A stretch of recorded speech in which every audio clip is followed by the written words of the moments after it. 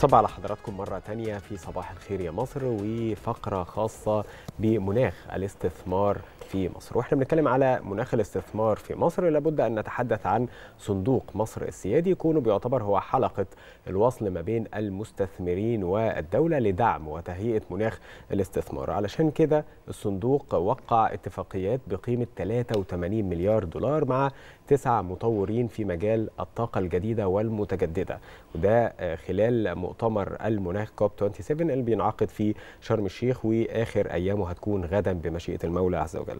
الاتفاقيات دي بتنعكس أو بتعكس دور صندوق مصر السيادي في جذب الاستثمارات في القطاعات الاستراتيجية زي الطاقة الجديدة والمتجددة زي الهيدروجين الأخضر وتحلية المياه.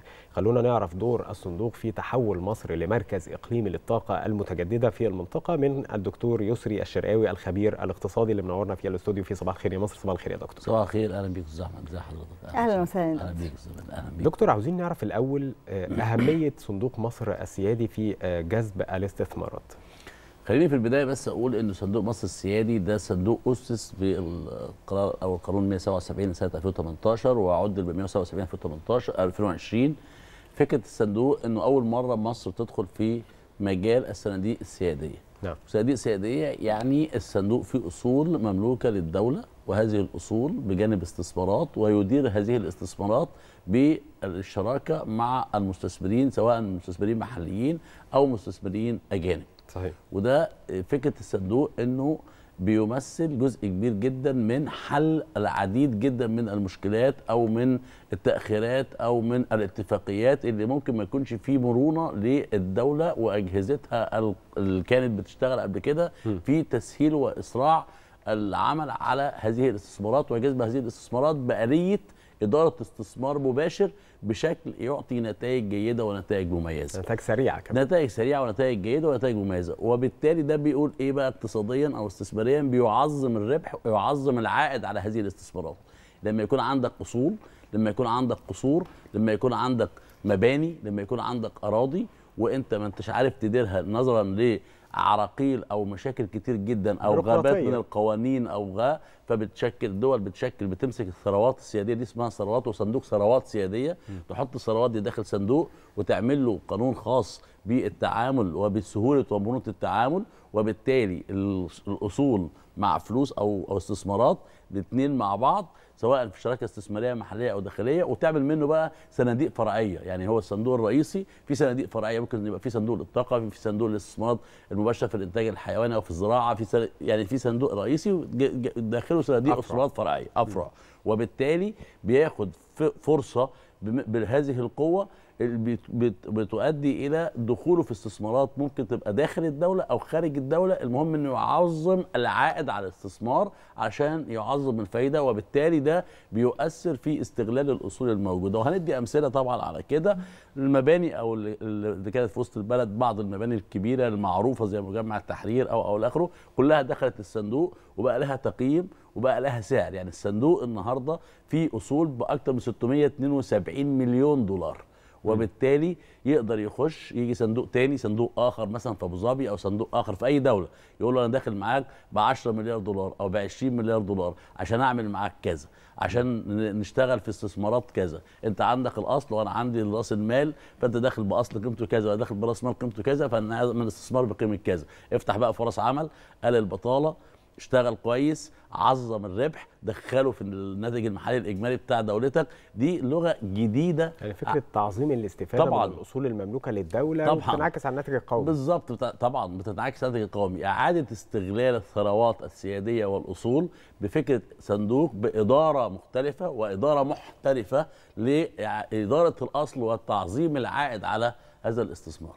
فكرة إن الصندوق بيخصص له فلوس أو أرقام محددة. يمكن إحنا عندنا دلوقتي حوالي أربع صناديق فرعية. كل واحدة تقريبا ممكن تكون ميزانيتها بتوصل ل 30 مليار جنيه. إحنا عندنا خطة طموحة إن إحنا نوصل بتوتال الفلوس أو إجمالي النقود المخصصة لتريليون جنيه قريبا. ولكن لو إحنا قلنا إن الصندوق بيشتغل على شوية حاجات زي ما حضرتك قلت أو عنده بالفعل تجربة ناجحة ناجحة في إن هو يجتذب استثمارات في مجال الطاقة. إحنا شفنا تجربة ناجحة في الفترة اللي فاتت. إزاي قدر يتعامل؟ إزاي حضرتك تقول لنا قدر يجذب الاستثمار الأجنبي بالمنظر ده بحيث إن هو يدخل بنقد كتير في وقت قليل زي ده؟ طيب هو الفكرة بس برضو عشان إحنا هنتكلم هنربط الكلام ده باللي سمعناه مؤخرا في مؤتمر التغيرات المناخية. ويمكن إحنا شفنا إنه آه، آه، مصر وقعت على اتفاقيات ب 83 مليار دولار. نعم. والاتفاقيات دي يمكن عشان نوضحها للسادة المشاهدين اللي معانا إنه صندوق مصر السيادي اللي بترأسه آه، المدير التنفيذي بتاعه وغير ترأسه وزارة وزارة التخطيط السيده وزيره ال- دكتورة هالة التخطيط الدكتوره هالة سعيد. ده آه، آه، ب- ب- ال- الشركاء أو المتحالفين التسعة في العالم الشركات الكبرى اللي بتشتغل في مشاريع الطاقة والطاقة النظيفة والطاقة المتجددة. وهنا مش بنتكلم إحنا بنتكلم على رؤوس موضوعات يعني ممكن تخش في شركة بتعمل توريد معدات. شركة بتعمل استشارات في آه. مجال الطاقة النظيفة. شركة بتعمل تدريب في مجال الطاقة النظيفة أو الطاقة المتجددة أو الصرف ال- ال- ال- ال- البيئي أو ال- التعامل مع المياه- المكملة المياه يعني. وتحليه المياه. كل دي بتأثر في التغيرات المناخية. الخطوط العريضة دي كل واحدة منهم تحتها مجموعة من الأنشطة ومجموعة من الشركات الكبرى العالمية اللي بتشتغل في هذا المجال. الشركات دي أو الاستثمارات الكبيرة دي عشان تدخل لازم تدخل على زي ما بيقولوا كده بلاتفورم أو تدخل على مكان جاهز لاستقبال أو التعاون مع هذه الاستثمارات. صحيح. فمش هيدخل يتعامل مع غير مع كيان اقتصادي إلى حد كبير مبدئيا يدار إدارة استثمارية احترافية. اثنين اللي يكون عنده عملية مرونة في التعامل ثلاثة يعلم تماما كيفية التعامل مع المستثمرين وطلباتهم وأدائهم وسرعتهم لأن هما الاثنين أصحاب هدف واحد ده اللي هو إيه؟ ده اللي هو الحفاظ على الإدارة الاستثمارية المباشرة الجيدة لتعظيم العائد. تمام؟ وبالتالي ده كمان الصندوق بيمثل بياخد البار بتاعه لأنه بيدير أصول الدولة وبالتالي هو عنده صلاحية أو عنده كتير جدا من العراقيل يقدر يتخطاها وفقا لصحيح القانون اللي, اللي أسس من من بيه أو صدر بيه تأسيسه. وبالتالي هذه الدول لما جلست في اتفاقية في, في مؤتمر المناخ وخليني برضه أقول هنا إنه الاتفاقيات عبارة هتبدا من عام 25 لعام 35 هم 10 سنين. والاتفاقيات دي ال 83 مليار دول في منهم أكثر من 80% منهم هيكون عبارة عن توريدات لمعدات وآلات. وحاجات خاصة بمشاريع الطاقة الجديدة والطاقة النظيفة وتحليه المياه. وال 20% عبارة عن فلوس دولارات سايلة. يعني بنتكلم على 16 أو 17 مليار دولار هي... هيبدأ ضخهم من عام 25 يعني البداية إحنا التجهيز من ده هنا لتشغيل 25 المشروع. طبعا. لا مشروعات. لا أكتر من نعم. مشروع. وبالتالي هي دي ال- ال- اللي إحنا عايزين نوضحها. بس خليني قبل ما أوضح دي أنا عايز بس افهم الساده المشاهدين يعني إيه تغيرات مناخيه؟ لأن إحنا عندنا مشكله كبيره جدا وبت- وبتلمسني إزاي وأنا بس دكتور أنا عايزة أركز أكتر إزاي؟ في النقطة الثانية لأن إحنا يمكن على مدار المؤتمر كله حاولنا طيب. نناقش فكرة التغيرات المناخية وتأثيرها سواء على الناس أو على الاقتصاد أو على حضرتك عاوز تتكلم عليها. اقتصاديا لكن لو اقتصاديا حضرتك تقولها لي بقى هو ده. فعلا لو حضرتك تقولها لي اقتصاديا. هتنعكس إزاي خصوصا مع إن إحنا بنقول إن الصندوق السيادي ساعدنا في إن إحنا نجتذب هذه طبعا. ما فيش ادنى شك أنا بتكلم على اقتصاديا لو اتكلمنا مثلا على قطاع زي قطاع الزراعة ده ده بيبقى عماد من العماده معظم المحاصيل الزراعية بتتأثر حاليا بتأثر التغيرات الاقتصادية والتغيرات المناخية. طب هتحتاج تكاليف.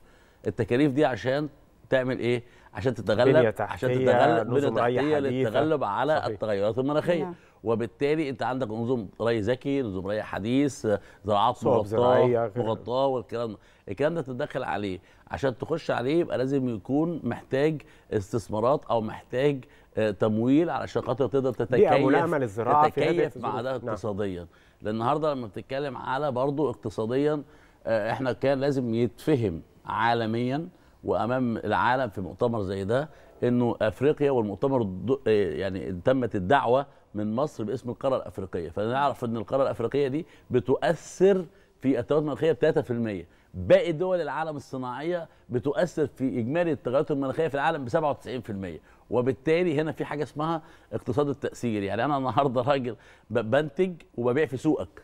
وأنا اللي بأثر على العالم بكل انبعاثات كربونية خاصة بالمصانع وبالطيران وبالسيارات وإلى آخره وباجي أبيع عندك في سوق. طب هذا التأثير اللي أنا هيجي لي وأتأثر فيه حتى في زراعتي وفي اقتصادي أنت المفروض تكون شريك معايا. عشان كده إحنا قلنا إن القارة محتاجة مش أقل من 100 مليار دولار كبداية في. التغيرات المناخية. ده اقتصاديا.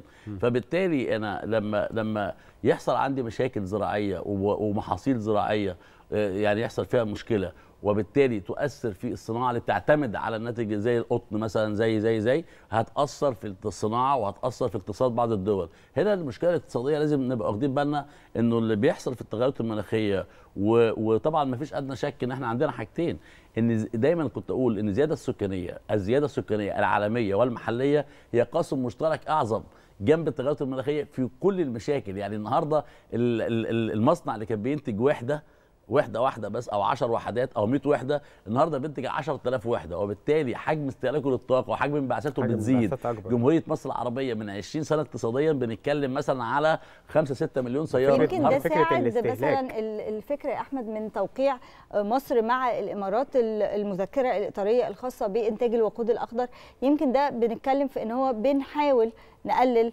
ال- المشكلات اللي بتحصل مثلا من ال- الوقود ويعني بنتكلم في نفس التخارج الإطار فكرة ال- التخارج من الوقود ال- الإحفوري للوقود. بالظبط الخروج من الوقود الإحفوري الخروج إلى المشاريع التي أو الوقود أو الطاقة قليلة الانبعاثات الكربونية عموما وهي بيسموها الطاقة التقليدية.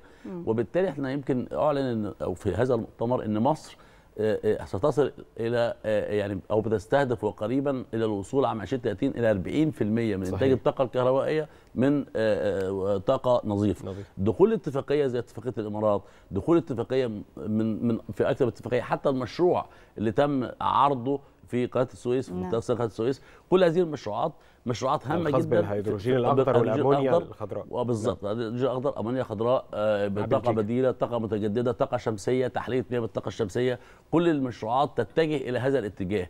طب إحنا بنتجه الاتجاه ده ليه؟ قلنا التحديات والتأثيرات زائد حاجة اسمها تحقيق البعد البيئي والاقتصادي معا لضمان استدامة الاستدامة. الموارد. صحيح. يعني ض- حتى لا تتآكل هذه الموارد. وده اللي بيتم إدارته من قبل دكتور الصندوق بالظبط. السيادي بالظبط. ويمكن يا دكتور هنا إحنا بنتكلم على آه، نوع من أنواع الوقود في استدامة.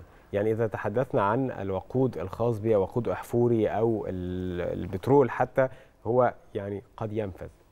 طبعاً. وفكرة استخدام مصر للغاز الطبيعي هو بيكون احتياطي وليه عمر زمني لكن محطات آه، الطاقة النظيفة سواء كانت رياح سواء كانت هيدروجين أخضر كل دي ليها نوع من أنواع الاستدامة وعمر افتراضي أكبر. لكن هنا أنا عاوز أتكلم تحديدا على دور الصندوق في البحث عن الفرص الاستثمارية المتاحة ودراستها وتحويلها لمشروعات يتم عرضها على القطاع الخاص. هو الميزة الجيدة جدا في الصندوق بصراحة في الحقيقة اللي أنا لمسته في الفترة الأخيرة واللي أنا متابعته من 2018 انه الاداره الاستثماريه في الاستثمارات المباشره في القطاع الخاص تختلف كل وجزئي عن لما يكون عندك اصل أو عندك آه، فرصه وانت ما انتش قادر باداره احترافيه تديرها نظرا لظروف آه، ظروف قوانين وغابات من القوانين المتداخلة.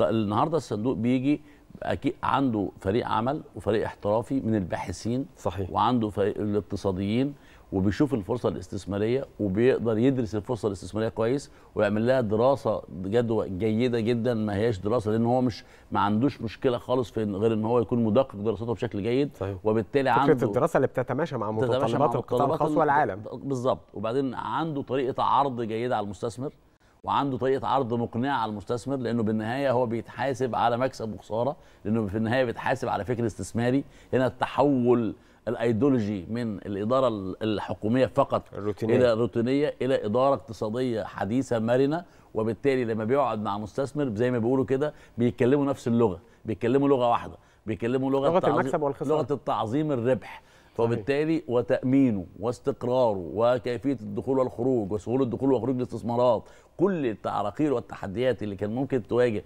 استثمار أجنبي مباشر بيبقى في سهولة في أثناء التعامل مع الصندوق في إنك تتخطاه. وبالتالي أثناء عملية العرض و ال- ال- طريق طريقة العرض وتوفير الفرصة وعرض الفرصة وتنوع الفرصة الاستثمارية. ما أنا برضو كصندوق عندي بورتفوليو. يعني أنت عايز تشتغل تحلية مياه في البحر الأحمر عندي. عندي عايز تشتغل محطات كهرباء آه، نظيفة موجود. عايز تشتغل معايا آه، يعني مشروعات طاقة متجددة في آه، طاقة فكرة شمسية. محفظة ففكرة استثمارية التنوع متنوعة. المس... لما برضه الصناديق الاستثمارية في العالم خلينا نتكلم بصفة عامة إن بيبقى عندها معايير لحركة الاستثمار البيني. عندهم معايير بيقيسوا عليها. يعني إذا أخش دولة يكون فيها تنوع السلة الاستثمارية أخش دولة يكون فيها استقرار أمني وسياسي أخش دولة يكون فيها آه، فكر اس- استثماري هتعامل معاه زي إدارة الصندوق سهلة ومرنه وفاهم إحنا بنقول إيه. اخش دولة والأهم من ده التخارج بالظبط. ما هي دخول وخروج الأموال ده جزء من المعايير اللي بيقيسوا عليها. وبالتالي لما بلاقي كل ال portfolio ده موجود قدامي أو كل المعايير دي محققة كاملة.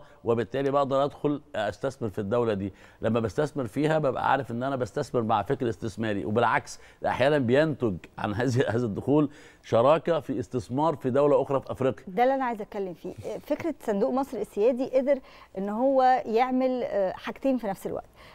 جذب مزيد مزيد من الاستثمارات وفي نفس الوقت آه، يعني آه، ادى فرصة للقطاع الخاص إنه يشتغل مع وجود يد بشكل أو بآخر أو وجود شريك للدولة في آه، هذه الاستثمارات يعني لوجود التوازن ول يعني إنها تكون بتشتغل بما يخدم البلد بشكل كويس كان في كلام كتير قوي بيتقال إنه هيحصل انحسار لدور الدولة وهيحصل تخارج.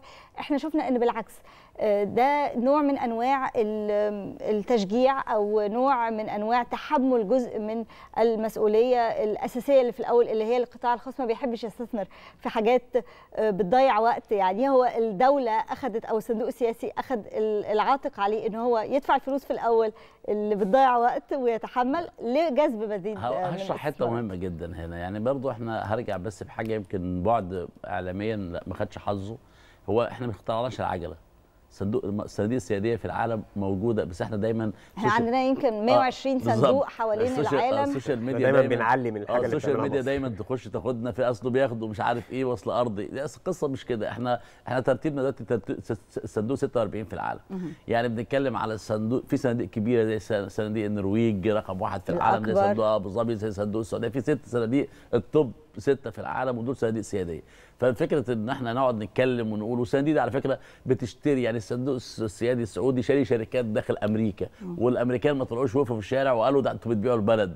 لا هي الفكرة كلها في الاستثمار البيني العالمي بفكر الصناديق ده فكر مش مش اختراع يعني أو مش إحنا يعني زي ما الناس بتقول وبتردد إنه ده باع وده خد ما ادانيش ما دخلنيش ده يدخل. لا هي الفكرة مش كده. إحنا عندنا فرص عمل اتوفرت الفكرة عندنا ضرائب هتدفع عندنا حاجات الأول كتير. هي تعظيم استفاد الاستفادة من أصل الدولة.